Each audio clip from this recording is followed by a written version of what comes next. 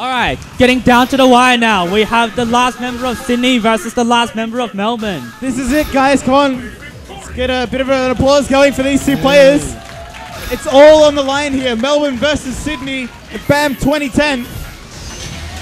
It's a the We've standard matchup. We have Sagat versus Ryu, old school matchup.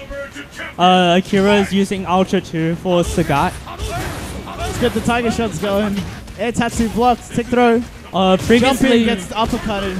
yeah, previously I remember Daigo said for Ryu, Sagat is the hardest match, but I think now with all the nerfs, Sagat is not as good, but we'll see. Johnny's playing very careful to keep Akira in the corner. Although he's, um, He's got a good lead. playing good pressure. Hey, Akira saving out. Oh, hey, time fireball nice combo gets there. punished. Overhead. Overhead. Akira's on very low health now. Low forward. Hey! Uppercut. Oh, This is it. Sydney's calling for an OCV. Will Uh, Johnny live up to our expectations? This is the tournament point for, uh, for uh, Johnny.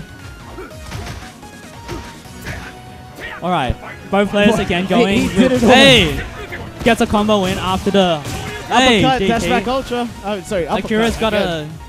a Akira's on half health. Oh, Akira hey, Akira uses ultra his ultra too.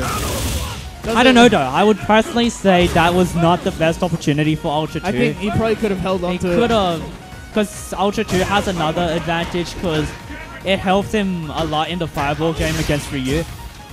Now both characters are going pretty steady, just playing patiently with pokes.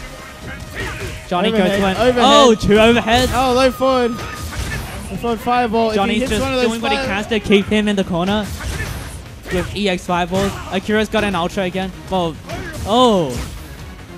I think he just did that to get a bit of corner space away. Yeah, he's trying to get himself Yeah. a bit of uh, breathing room. oh, EX EX. fireball. Hey! Sydney, Sydney take the five on five in an unbelievable turn of events where Sydney did a pretty good comeback, I have to say. OCV even though I'm from behind. Sydney myself.